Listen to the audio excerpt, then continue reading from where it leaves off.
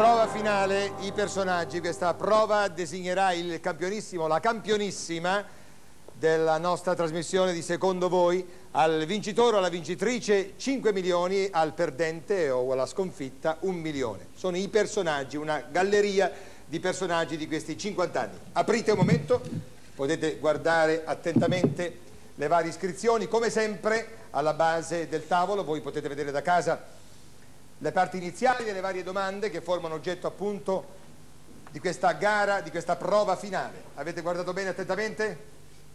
Questa gara vale la bellezza di 5 milioni e poi serve a laureare il campione che porta al primo posto il biglietto che vale 200 milioni. Pretore e poi giudice. Scrisse tra l'altro il dramma Corruzione a Palazzo di Giustizia. Ha schiacciato Carisi. Ugo Betti. Ugo Betti più uno, bene. Seconda domanda.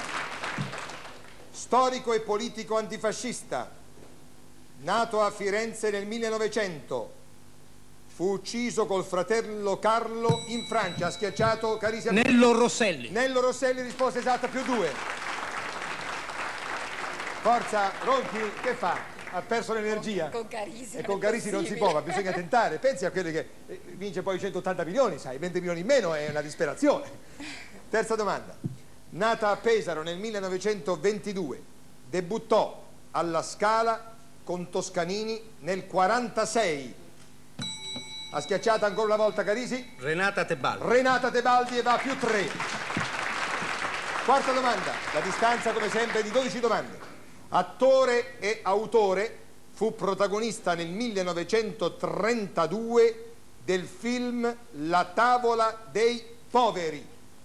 Raffaele Viviani. Raffaele Viviani, bene, va, più 4. Forza Ronchi, impegniamoci. Quinta domanda. Accademico d'Italia a soli 27 anni. Fu insignito del Nobel della fisica. Dai, dai, vai. Forza. Fermi, Enrico Fermi. Enrico Fermi, Enrico Fermi va, più 5. Più 5.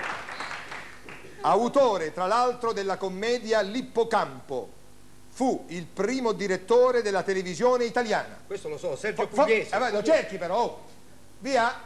Ha schiacciato, gliel'ha suggerita. Pugliese. Pugliese, Sergio Pugliese e abbiamo 5 a 1.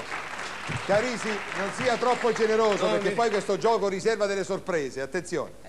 Abbiamo la settima domanda. Fratello di una bellissima attrice di nome Vera e nipote del marionettista Podrecca. Dica. Orio Vergani. Orio Vergani e va a più 6. A più 6, 6 a 1. Set- ottava domanda. Morta a Roma nel 1936, era stato premio Nobel per la letteratura. Via. Deleida. Grazie Deledda, abbiamo 6 a 2. Nona domanda. Nato a Bologna il 19 aprile 1891.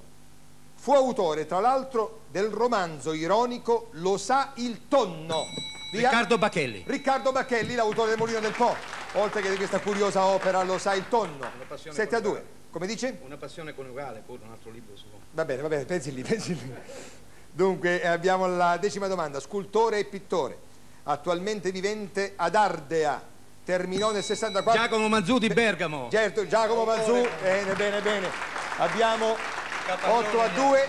Attenzione, ci sono altre due domande, completiamo tutta la gara. Compositore e organista, diresse per oltre 50 anni la Cappella Sistina, musicando soprattutto temi sacri.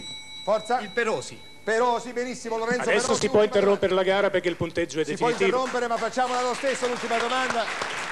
No, io direi arbitro. Arbitro. Vogliamo io- completarla? Io direi, direi l'ultima domanda me la faccia fare. Certo, è giusto. Eh, eh, l'ultima- no, per piacere, ritorniamo con la 3 qui perché voglio fare l'ultima domanda. Famoso giornalista, partecipò nel 1907 col principe borghese al raid automobilistico Pechino-Parigi. Forza. Luigi Barzini. Luigi Barzini si conferma campione. Campione secondo voi Andrea Carisi. 5 milioni ad Andrea Carisi, 1 milione a Maria Teresa Ronchi.